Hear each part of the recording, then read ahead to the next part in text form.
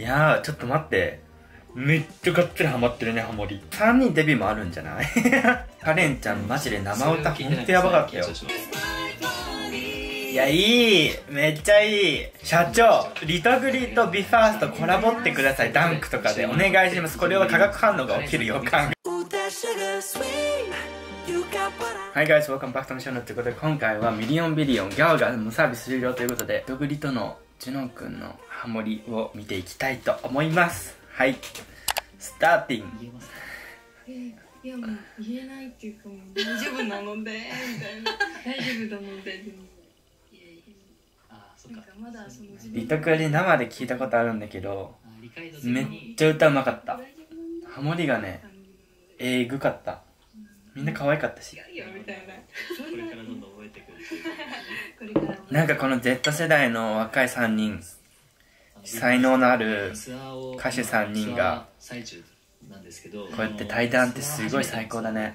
結構あの体調管理とか喉のケアがすごい大変だった印象があって、うんうんリさんどうやってやられてるのかなっていう。確かに。そうですね。でもやっぱりホテルに泊まるときはもう乾燥がすごいので、絶対に湯船にお湯を張ってあ濡れマスクして寝てで濡れタオルもかけて加湿器も焚いてめちゃくちゃちゃんとやガるんですンガンにやねらないとやっぱこの 2days とかはい。2日とか続くともう喉が終わってしまうので、加湿はめちゃくちゃきつい気をつけてます。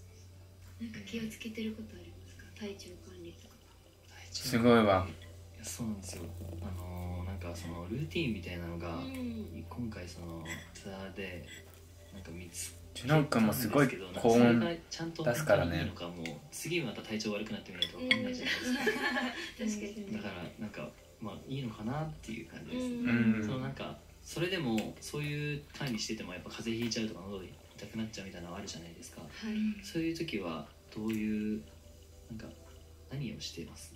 何をして何を？どうしてもみたいな時ってありますでかももうちょっと調子悪いなって思ったらすぐ喉の病院お薬もらったりとか風邪ひく引き切る前に風邪を止めるたりとかもしますしあと本当にもうどうしようもない時はもう他のメンバーが補ってその調子悪い子と内心戦だわこの若いアーティストちゃんが。喉について語るという貴重な。ですねはいやっぱこういうところまで気にしてるのはさすがだよ楽屋ねで常にハモったり歌ってるのも練習にもなってますよねきっと、そうですね。自然に自然に練習したりとか。なんかはあのハモって勝手に出てきますか？でも大体なんかなんとなく出てきます。えすごいですね。ー、あんまりここら辺さっかき歌わせてもらった時にそのもうそろそろだ結構ね聞き聞いちゃうわけですよ。あのお二方が歌ってる声 うまいもん二人この二人。あれを線を歌ってんのか分かんなくなっちゃうみたいな現象があるんですけど、はい。ライブとかでちょっと気抜くとそうなったりしないですか？ハモ。ないない。ないすごい。返された。らすごい。確かにならないって会社とかではハモリとかその場で覚えたりするのであレコーディングはなんかお見失音が見失ってっていうことはありますけど、うん。もうライブではもう完全に体に入ってる状態なので、あんまり見失めっちゃすごかったよリトグリ。超パワフルだった。さっきあのこのうあの裏話というかあれなんですけど裏話。一発目歌わせてもらった時に僕本当に LINE 何も分かんなくなっちゃってあの一回も声を出さずにあの二人だけ歌ってるのを聞いてた 状況があったんですけど本当になるでしょ最初はね。しかもさらに6人っていうことはだってアカペラのプロだもんねこの二人。3ラインあるってことですもんねラインが、ねってなるとすごいなんか乱雑乱こなんか混乱しそうですよね。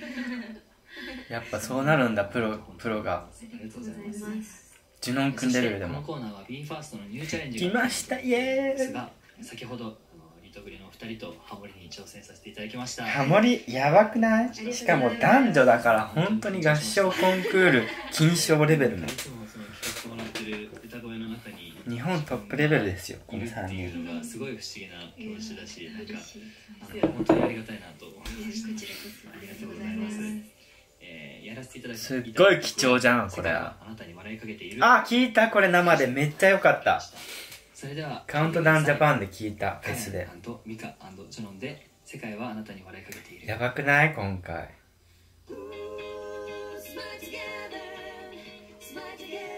うわー。鳥肌立った今。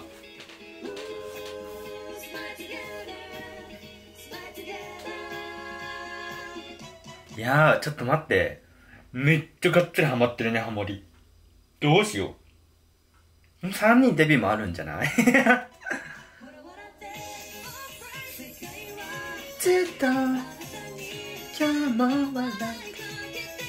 いやこれ聞いたよ生でいやいやジュノン君入るとまた違ったテイストになって最高でございます。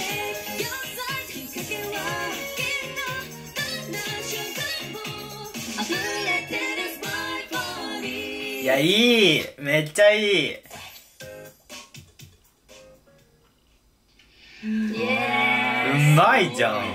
改めてなんか自分の声が一瞬だったね。ちょと不思議な気持ちになりますねもうありがとうございます。でこうもう一回聞いてみます。聞いてください。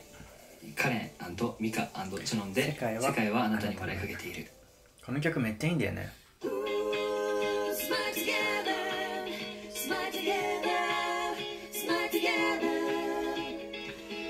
ジュノン君一番下だよね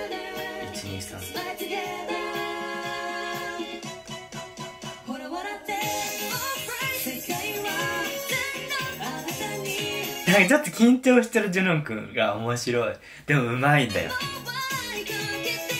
あのリトグリの二人がもうエグエグだから。そこに負けてないよジュノン君ちゃんと。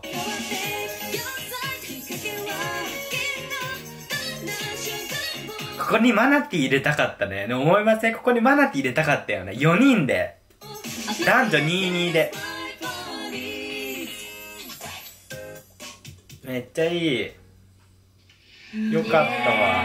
すごい。改めてなんか自分の声があるのちょっと不思議な気持ちマナティー入れたかったここに。っありがとうございますでこうていう勝手な。めっちゃ完璧でした。あの完璧だよ。音量とかで言うとちょっとなんか出ちゃ出過ぎちゃったかなっていう気持ちがあるんですけど。めちゃくちゃすごい。馴染み馴染んでる。本当ですか？いやなんか本当にその自分たちの楽本当に曲を一緒に歌ってすごいことしてるんだよね。なかなかレアなので、うん。すごいあの人数でハモリ嬉しなんか私しかもニューメンバー入ったしさめっちゃ緊張してもう歌えないと思うのです。ごいもうすごい素敵ないやめっちゃ緊張しました。よ本当にあの素晴らしい歌しありがとうございます。元か気で歌っていただくっていうねこの三人。尊い。可愛くない？この3人。楽屋でもね。なんか毎週ポッドキャストかなんかラジオやってほしいぐらい。もう歌について永遠に語ってほしい。恥ずかしいな、ありがとうございます。えー、こちらこそありがとうございます。可愛いはいそうなんですよね。カレンさんがね歌ってるガイドボーカルをいただきましてそれを聞きながらあの楽屋で練習させていただいてたんですけど最後にあの「お願いします」みたい。なはい。カレンちゃんマジで生歌ほんとやばかったよ。こんな出るの声一人だけ声量が違うのカレンちゃん。心を込めてお願いします。っ一緒にね言わせていただきました。すいません。ありがとうございます。ありがとうございます。なかなかそのコラボをさせてすることないっておっしゃってたのでこういう機会に。いやリトグリとビファーストはありじゃない？これかあらりがとうございます。社長リトグリと BE:FIRSTコラボってください。 DUNKとかで。お願いします。これは化学反応が起きる予感がする。話をいろいろ伺ってきました。はい。そうですね。今回そのいろいろあのーまあツアーの時のその喉のケアの話だったりとか、あのホテルでやっぱりいろいろ対策するのが大事なんだなっていうのは基本的に分かったので、はい。これからちょっとあの次やるツアーの時とかにやってみたいと思います、ありがとうございます。ありがとうございます。真面えーそんなリトルグリーンモンスターですが今後もたくさんの活動を控えているということですけどそうですよね。えー3月22日に新体制の EP「ファンファーレ」が発売。はい。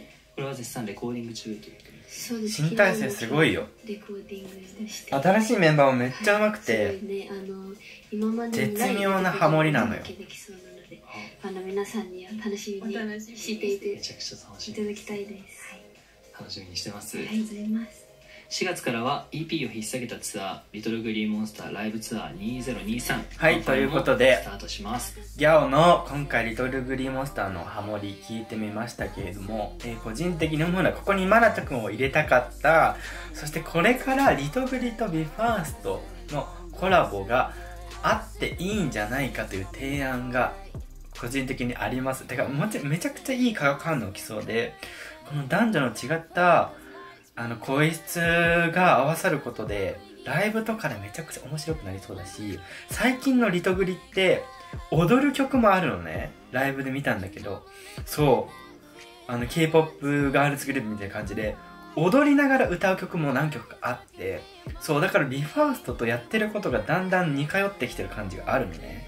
そうだからもっとコラボあっていいんじゃないかと思った回でした。ということでギャオ見てない方いたらもっとこ、えー、とぜひ見てください。ということであー Thank you guys for watching. Stay safe and healthy. えっとご視聴ありがとうございました。ということでえっとジュノン君の畑本博さんのカバーの動画も上げてるのでそちらもぜひ見てください。ということで See you guys in the next video and goodbye!